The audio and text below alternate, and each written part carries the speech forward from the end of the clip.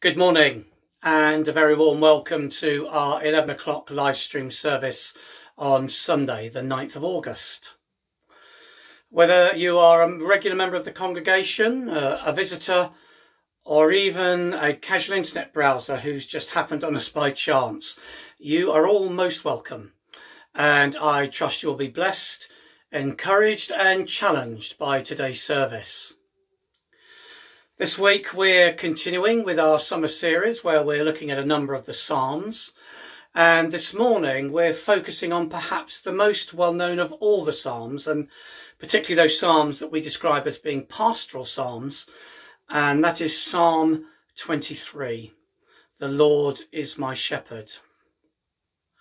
Uh, by way of introduction, I'd just like to read some words to you that were written by a 19th century American Congregationalist minister who was also a social reformer and at the time of slave trade was an abolitionist. Uh, his name was Henry Ward Beecher.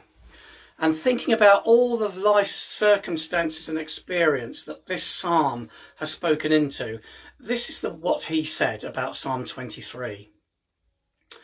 It has charmed more griefs to rest than all the philosophy of the world it has remanded to their dungeon more felon thoughts, more black doubts, more thieving sorrows than there are sands on the seas. It has comforted the noble host of the poor. It has sung courage to the army of the disappointed. It has poured balm and consolation into the heart of the sick, of captives in dungeons, of widows in their pinching grief, of orphans in their loneliness. Dying soldiers have died easier as it was read to them. Ghastly hospitals have been illuminated. It has visited the prisoner and broken his chains, and like Peter's angel, led him forth in imagination and sung him back to his home again. It has made the dying Christian slave freer than his master, and consoled those whom dying he left behind mourning, not so much that he was gone, as because they were left behind and could not go too. Powerful words of one of the greatest psalms. And we'll be hearing more about this psalm, of course, when Albert comes to speak to us a bit later. But now, as we begin our service, let's just join together in this opening prayer. Generous God and giver of all things, we rest in your loving and tender care, and we are revived, restored, and renewed by your strength and encouragement. You go before us in life, leading us in pathways that are secure, without the confusion of becoming lost, aware only that we always need to follow you. And so we trust in your guidance and wisdom. As human beings, we know there will be times of stress when our body or mind lets us down. We know there will be dark times too, when life seems to be nothing but struggle. And it is in those times especially that we rely on your presence deep within us to guide and bless us. Grace giving God, you provide us with the tools we need for the tasks we face. And for this, we give you our trust and our thanks. Life giving God, you put out the welcome mat for us as we gather to worship you. You nourish our souls and bodies through your goodness and tender mercies. You heal our life's wounds, and your generous love fills us to overflowing. You give us an honoured place at your table and invite us to stay with you as guests forever. You have promised that your unfailing love will stay with us always, and for this we give you our thanks. Amen. So, having committed our service to the Lord, let us now come together and worship our Good Shepherd in song.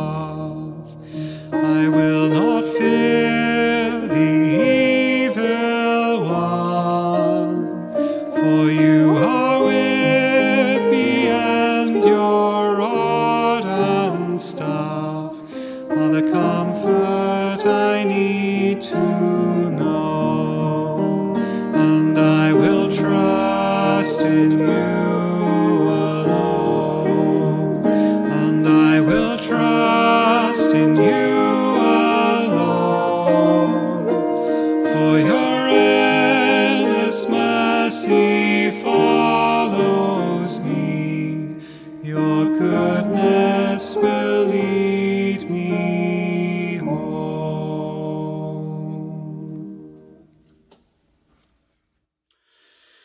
Every week, as we worship together, we have the opportunity to admit to ourselves, to each other, and to God that we do not always live as we're called. It is in the act of confession, this time of opening our hearts, where we realise our desire for God and our hope for God's mercy. It is in admitting the truth of our lives that we take the first step towards wholeness and healing. So let's make our confession first in silent prayer, bringing before the Lord those times when we have failed Him.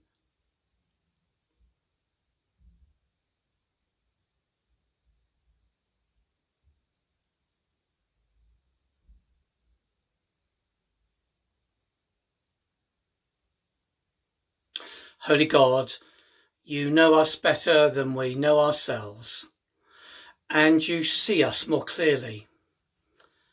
How impossible it seems that we could ever hide anything from you, or even try to hide something. But we do.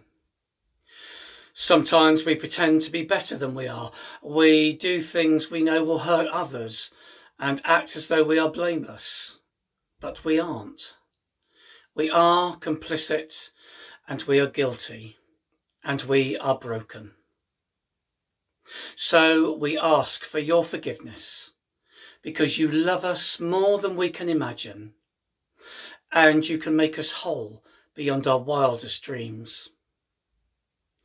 And this we ask in the name of Jesus, who came to show us the way. Amen. And so, friends, hear this good news.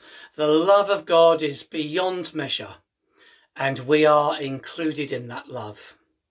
Know that we are forgiven and thus freed to love and to serve. Alleluia. Amen.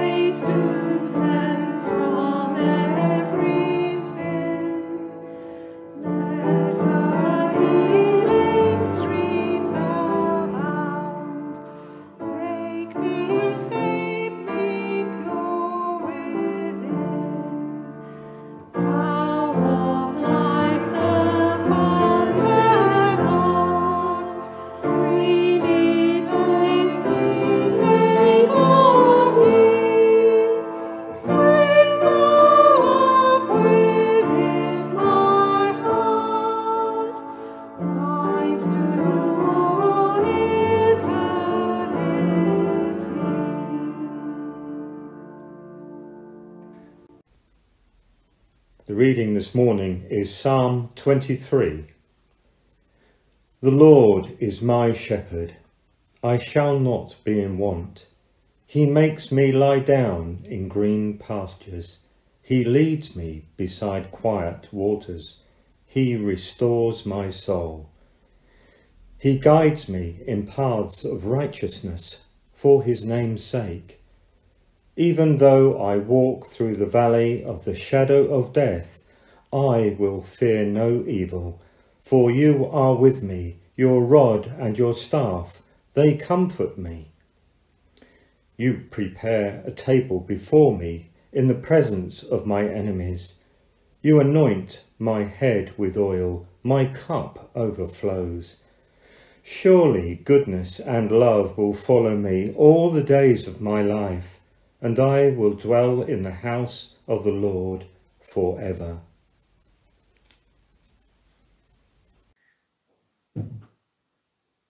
Whenever I think about the Psalms, a couple of things spring to mind.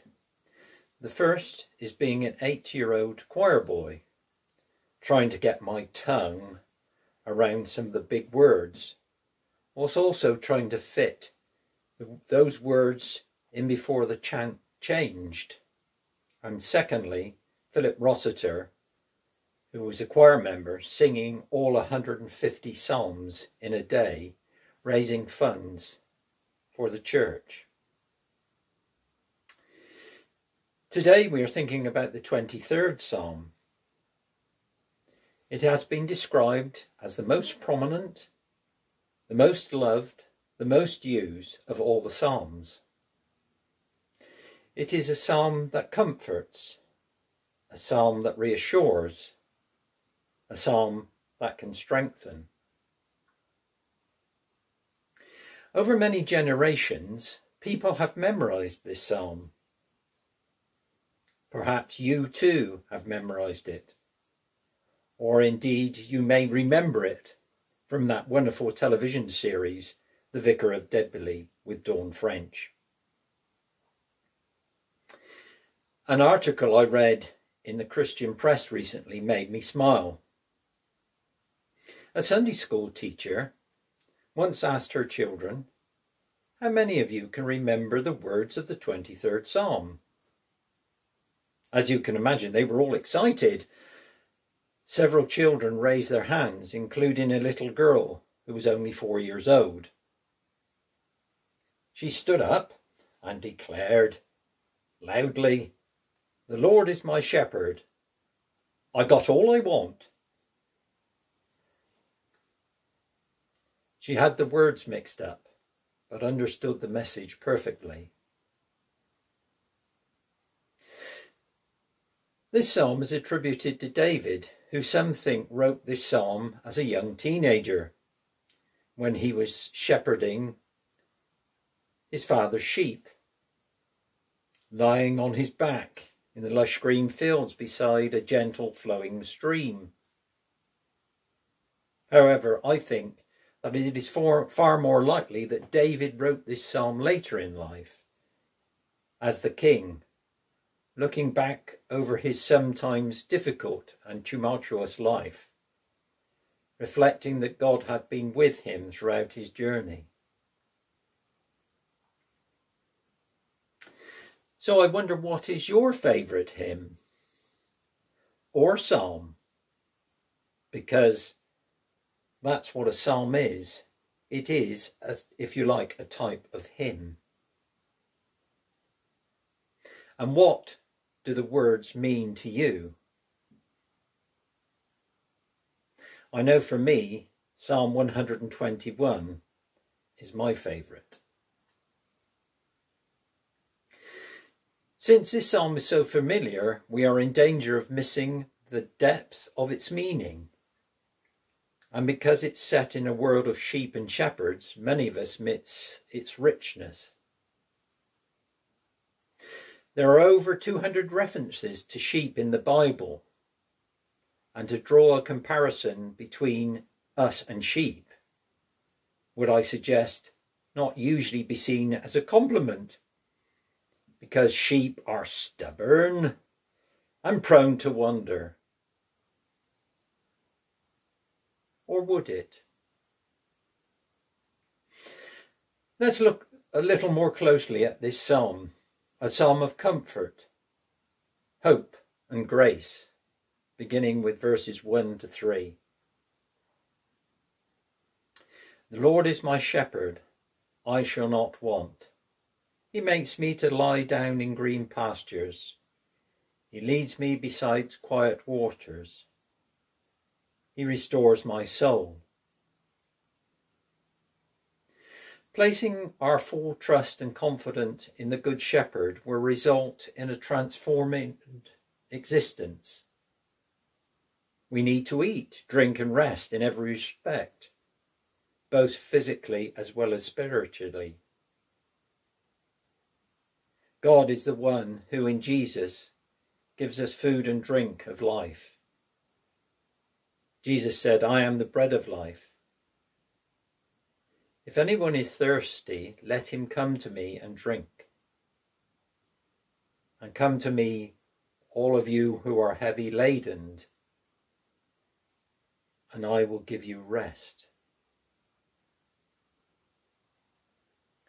Verse 4 goes on He leads us to quiet waters. He restores and heals the troubled soul. Even though I walk through the valley of the shadow of death, I will fear no evil. For you are with me, your rod and your staff, they comfort me. What wonderful words of comfort and assurance. The former Tory minister Jonathan Aitken writes about this in his book, Psalms for People Under Pressure. He refers to a conversation he had with evangelist Michael Green. Some of you will remember him from John Woolmer's days. Green was rushed into hospital after having a heart attack. As you can imagine, there was frenetic work around Green at the time. He was lying in the A&E department lying horizontally with casualty doctors working on him. Looking up at the bright lights, he thought to himself, Green, this could be it. He realized he was walking through the valley of the shadow of death. And at that moment, he was suddenly filled with wonderful warm glow of joy and peacefulness. God was with him. Verse 5 goes on with wonderful reassurance. You prepare a table before me in the presence of mine enemies. You anoint my head with oil, and my cup overflows.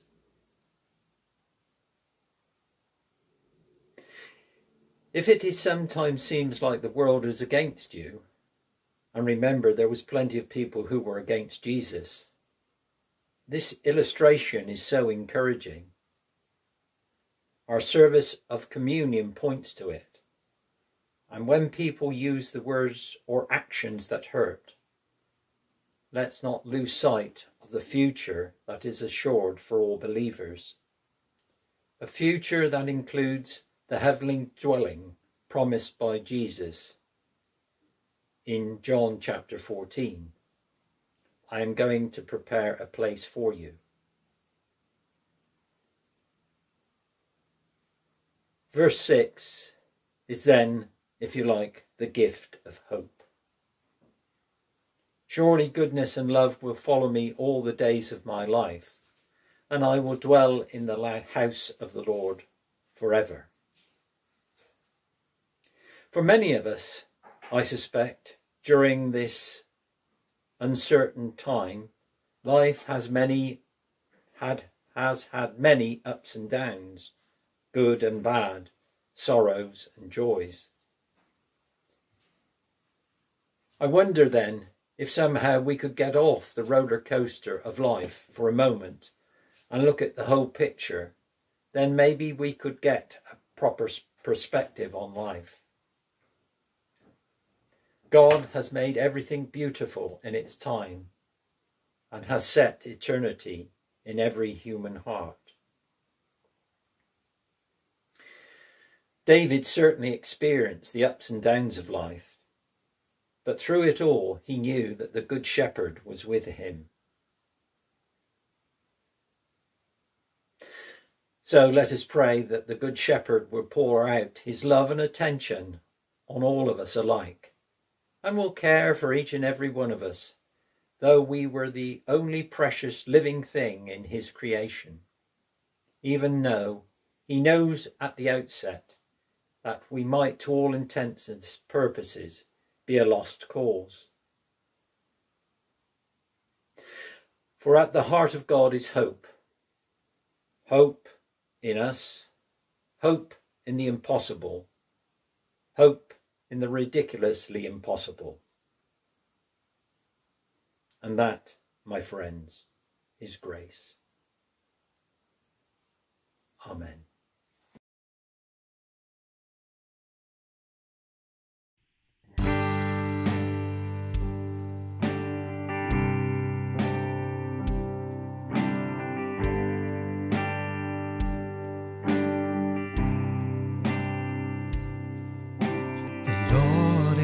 My shepherd,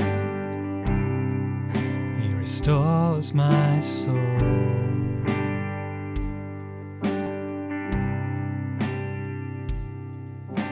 He leads me by still waters, He restores my soul.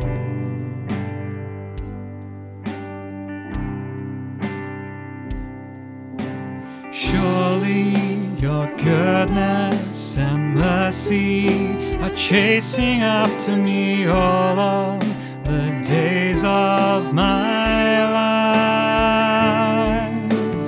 Even when I'm lost in deepest valley, I'll fear no evil, even when the silence falls around me. I know you hear me, feels like we're separated. You're holding on to me.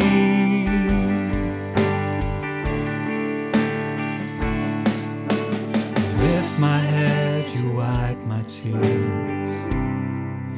You restore my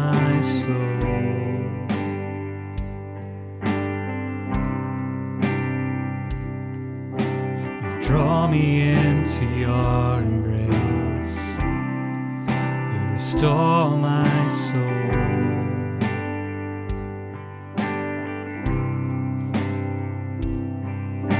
Surely your goodness and mercy are chasing after me all of the days of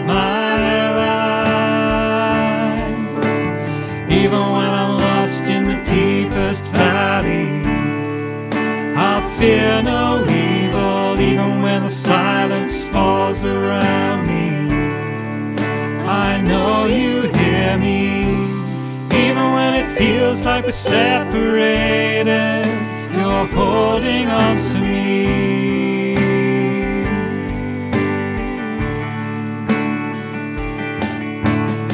Even when I'm lost in the deepest valley, you're holding on to me. Even when the silence falls around me, you're holding on to me.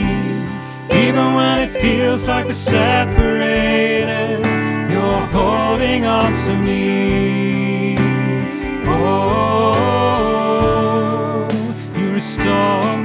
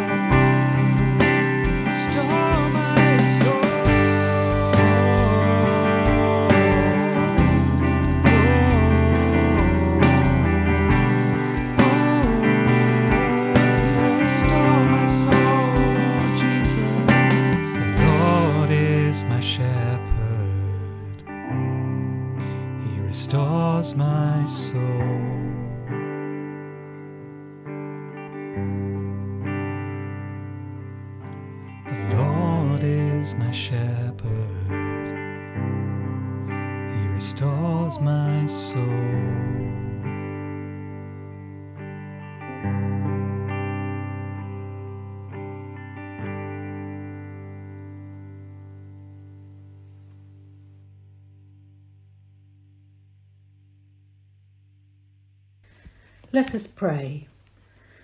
I love that opening line of the psalm The Lord is my shepherd. Praise God for the gift of his Son Jesus.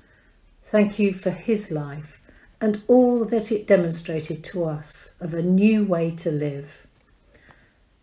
A life of compassion, of awareness, of recognition of everyone, no one of lesser or more importance. Praise God for the message of hope. He is our guide. He leads us.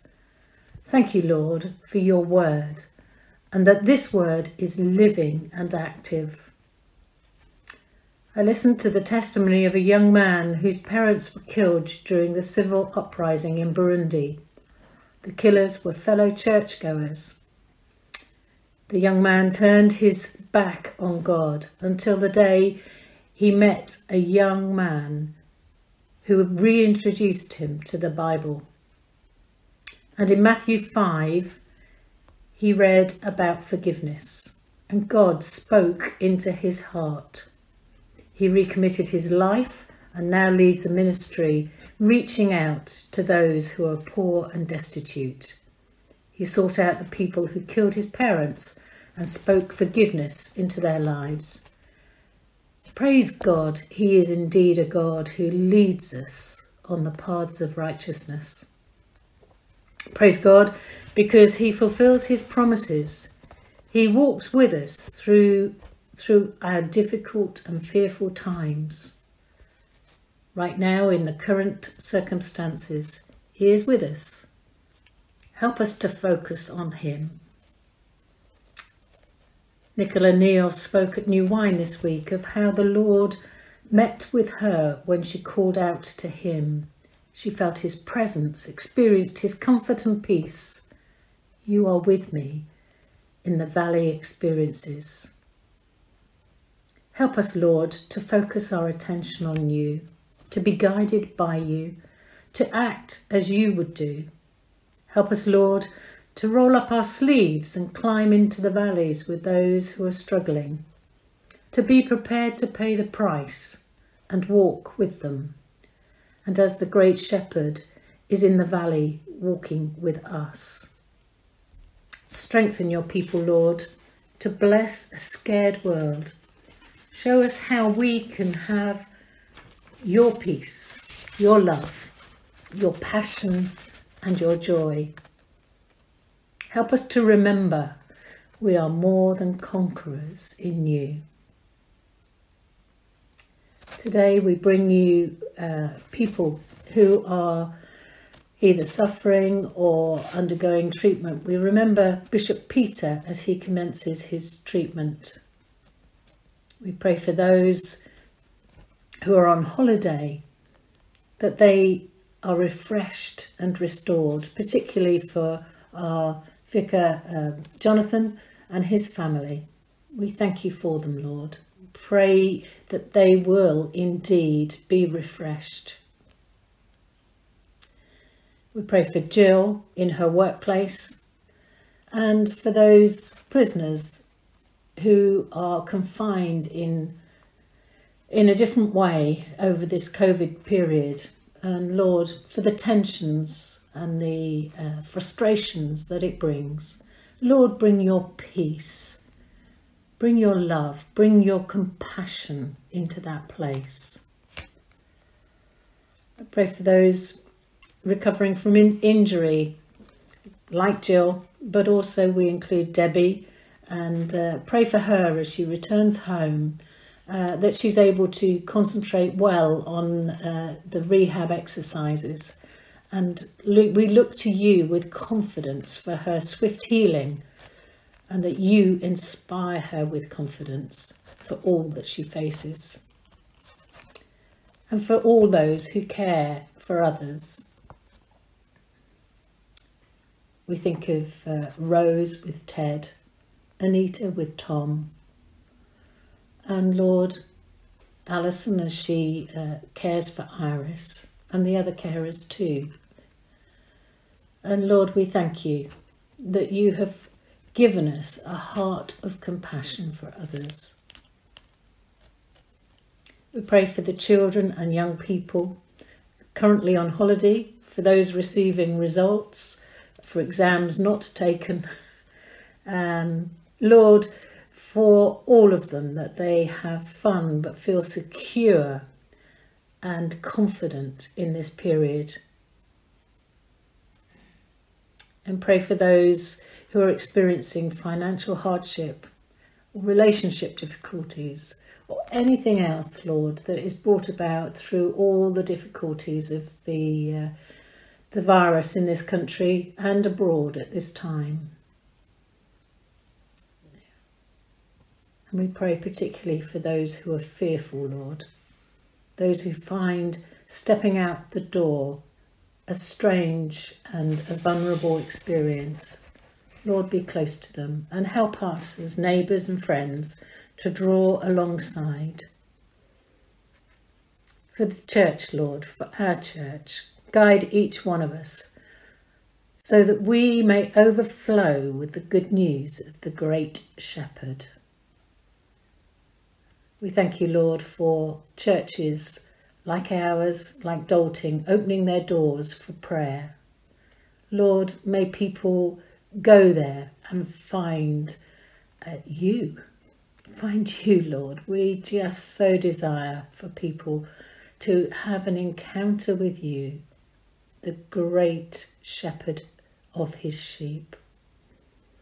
And uh, Lord, we pray for a world, a broken world, broken by disease, broken by uh, violence, broken by warring, and broken by natural disasters. Lord, we bring you a world where we need to act as you would act, to be your people in difficult places. And just as a thought to end this time of prayer, Lord, just uh, read this week of uh, Paganini when he was doing an early recital, how during the recital one of his strings broke, but he carried on playing. And I just pray, Lord, that um, that we make your music sound for you. We may be imperfect instruments, but we want to resound the music of good news. Amen.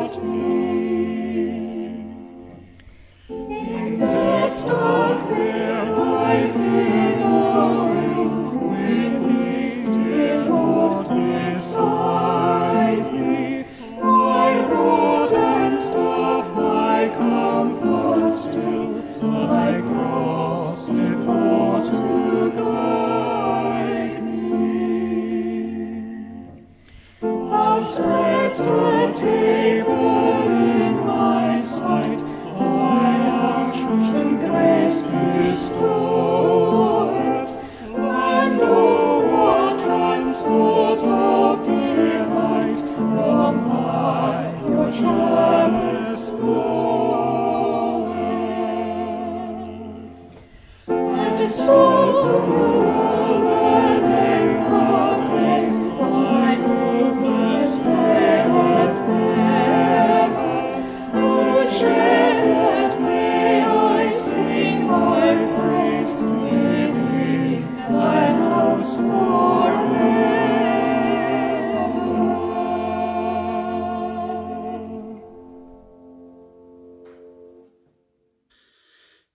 As our service comes to a close, let's share together the words of the closing prayer. Draw me today into fresh encounters with Jesus, O God. Make me a servant of love so that others may know how much you love them and I may know how much you love me. Let me not be afraid of new pastures, whether they be green or brown or parched. And as I pass through whatever the day's valleys, keep my head lifted up to the mountains, from whence cometh my help. Never let me forget the people Jesus welcomed, the greedy and the great, the bad and the good, the respected and the cheats. And even as the world becomes more callous and chaotic, may we never underestimate your capacity to fashion the miraculous from the monstrous, even to make each one of us a choice masterpiece from the mire and the clay. Amen. And let's just say the words of the grace together. May the grace of the Lord Jesus Christ and the love of God and the fellowship of the Holy Spirit be with us now and always, for evermore. Amen.